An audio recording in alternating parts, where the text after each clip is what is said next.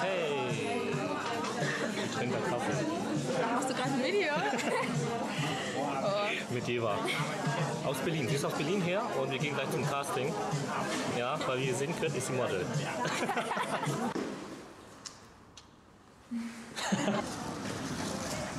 So, Eva wird jetzt genommen. Sie ist jetzt Model für Schwarzkopf bei Salon Mucci, glaube ich. Ne? Ja. Mucci. Also da ist auf jeden Fall die Vorbereitung. Voll berühmt. Wir sind hier gerade am Alsterdings. Film mich einmal.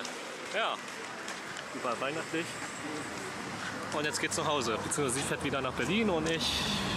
Mein Bruder ist heute da. Ich habe ihm die Haare geschnitten. Das ist Kevin. Hi. Der hat voll zugelegt. Er war mal fett, wenn man es nicht glaubt. Ja. Ne, das ist Kamera und ähm, das Coole ist an der Kamera, du hast diesen Fischei-Effekt, wenn du schon siehst. Was für ein Neffe? Ein Fischei, das ist hier hinten so kleiner wird.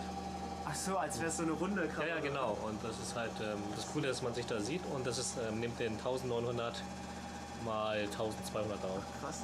So, ich bin jetzt bei Hans im Glück mit Kevin. Er macht halt typisch asiatisch ein Foto. ja, wie ihr sehen könnt, ähm, ja, Essen und es ist hier ziemlich cool gemacht. Und genau, wir essen jetzt erstmal den Burger. Sieht ganz gut aus. Die Fritten sind ziemlich groß und bin dann weg. Äh, sieht aus wie ein Monster. so richtig angeboten. Der Tod. Der Tod. Ich bin der Tod. Ja, auf jeden Fall ist es warm.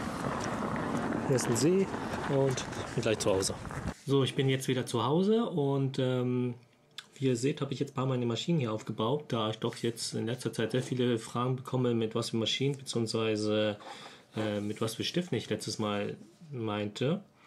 Ähm, ich benutze halt diese, wenn man die hier sieht, die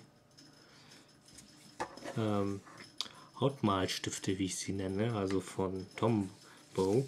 Ähm, damit könnt ihr dann frei ähm, frei auf die Haut zu sagen. Also ihr könnt frei auf die Haut zeichnen und ähm, es ist halt nicht gefährlich in der Hinsicht, weil man braucht spezielle Stifte jetzt, wenn man auf der Haut zeichnet, ähm, wenn man drauf tätowiert. Wie ihr seht, habe ich hier, äh, hab hier vier, äh, ihr seht jetzt drei Maschinen, vier Maschinen. Fange hier mal mit der ersten an. Das ist halt meine zweite Maschine. Die ist ähm, custom gefertigt und ähm, wie ihr schon seht, eine Louis Vuitton, also das, das Logo davon und ähm, das ist ein Shader, 8er. Also ich habe 8er, Wa- 8er Warpspuren ähm, einmachen lassen und ähm, die ist aus den USA. Also die ist handgefertigt aus den USA, die ist halt so gefertigt, so wie ich das ähm, möchte, hat ziemlich weichen Punch und genau. Und ich habe dann noch eine zweite Shader, das ist halt die, äh, das ist halt die hier. Oh, mein Kaninchen trinkt da. Ich hoffe, es stört nicht so. Ähm, das ist von, ähm, wie ihr hier schon seht, habe ich drei Maschinen von Bavarian Custom Iron. Da ich, wie ich finde, da ich wie die finde, halt schon sehr gute deutsche Mas Maschinen zu sagen sind. Also ich habe ich habe jetzt nur die vier. Also ich habe jetzt hier zwei Shader, das eine Shader, auch mit einem Achter. Und sonst habe ich halt zwei ähm, für die Linien ziehen. Warum ich zwei habe? Ich habe halt ähm, zwei unterschiedlich. Das heißt, mit dem einen steche ich halt nur bis ähm, 9 und mit den anderen nehme ich ähm, eher die etwas stärkeren. Das heißt, ähm, eigentlich nehme ich die hier für 9 plus, sage ich mal, also von der Nagisch ähm, her.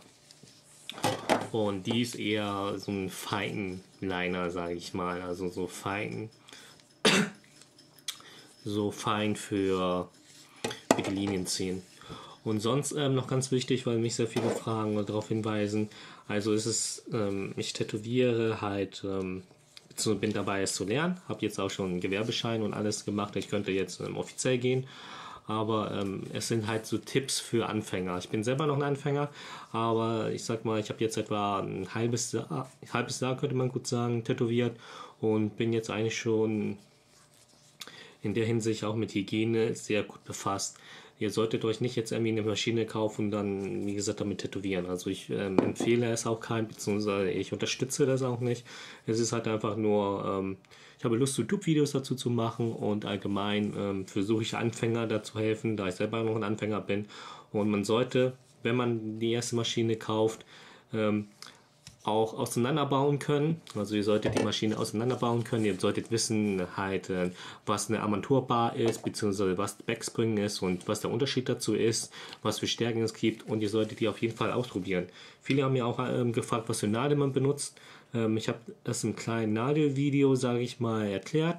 Und ähm, man sollte nicht alles so machen, wie es ähm, erklärt wird. Also nicht dann irgendwie jemand sagt, du sollst so und so tätowieren, dann tätowierst du so und so. Also du solltest schon analytisch denken, beziehungsweise halt auch ausprobieren. Und das ist halt auch das Interessante am Tätowieren. Auf jeden Fall für mich. Ich weiß nicht, wie es für dich ist oder für andere. Auf jeden Fall ist es jetzt ähm, zum guten Hobby geworden und ähm, ja, so ein kurzes Review zu meinen Maschinen, beziehungsweise so zum Tätowieren. Ähm, ja, so war mein Tag und ähm, man sieht sich im nächsten Blog, beziehungsweise Vlog.